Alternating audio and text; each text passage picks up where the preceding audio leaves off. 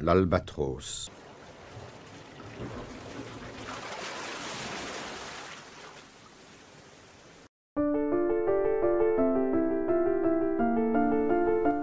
Souvent, pour s'amuser, les hommes d'équipage prennent des albatros, vastes oiseaux des mers, qui suivent, indolents compagnons de voyage, le navire glissant sur les gouffres amers.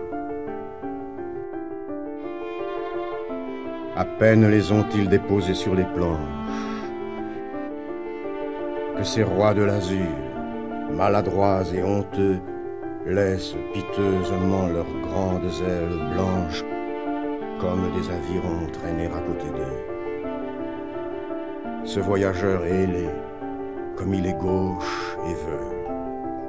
Lui naguère si beau qu'il est comique et laid. L'un agace son bec avec un brûle-gueule, l'autre mime en boitant l'infirme qui volait.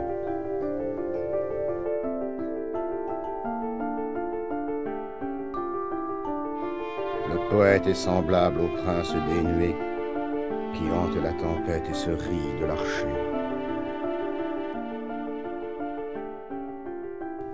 Exilé sur le sol au milieu des huées, ses ailes de géant l'empêchent de marcher.